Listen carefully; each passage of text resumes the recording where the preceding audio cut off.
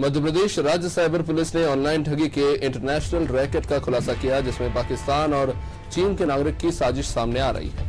रकम को crypto currency के ज़रिए पाकिस्तान भेजा जा रहा था, जबकि फर्जी वेबसाइट बनाकर रुपए ठगने वाला व्यक्ति चीनी है, जो भारतीय ठगों के ज़रिए ये धंधा चला रहा था। सीएस और सीए के साथ कुछ कारोबारी भी इसमें लिप्त हैं।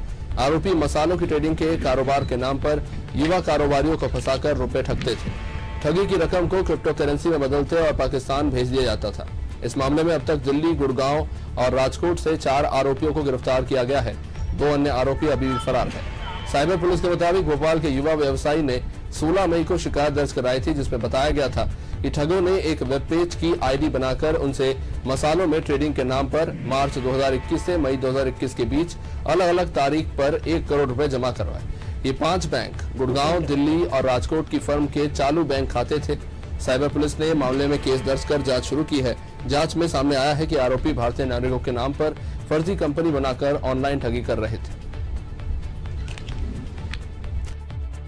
जिसमें एक व्यवसायी को एक फर्जी डैशबोर्ड भेजकर उससे बहुत सारे पैसे, करीब 98 लाख रुपीस जो है उसमें से फ्रॉड किया गया है। और ये पैसा जो है, इस पैसे को यूज़ करके मनी लॉन्ड्रिंग जो है क्रिप्टो करेंसी में वज़ीर एक्स और बेनांस के थ्रू की जाती थी। पहले इंडियन एक्सचेंज और फिर इंटरनेशनल एक्सचेंज से की जाती थी। उसमें एक पाकिस्तानी नागरिक होने के की संलिप्तता के भी सबूत मिले हैं। और संभवतः एक चाइनीज़ व्यक्ति जिसने इनमें से एक फर्जी जो कंपनी थी, वो भी बनाई थी। अभी हम लोगों ने इसमें से चार आरोपियों को गिरफ़्तार किया है।